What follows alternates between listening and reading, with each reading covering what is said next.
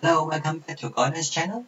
And in this series, we are going to talk about responsive design. And what is responsive design?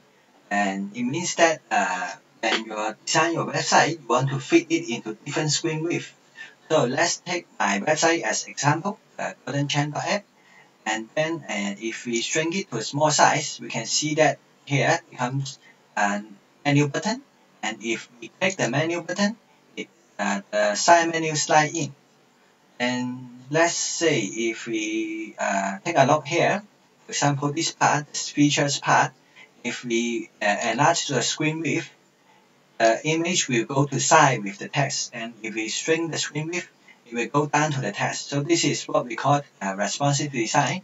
So on different screen device, uh, all the users have a very good uh, user experience. This is responsive design. So let's begin and I have set up the live server as a demo. So here, let us say give a header to our uh, page.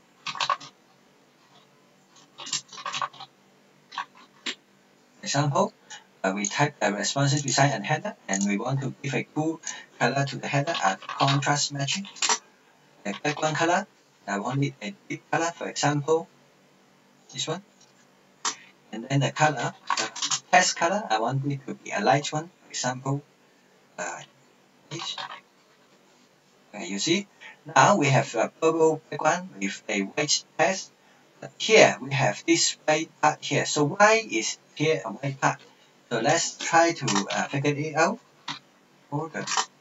If we set uh, background color to the body, we can figure it out. For example, we set a background color to body, it seems that this whole part is the background, the body. Then, if we set a border to it,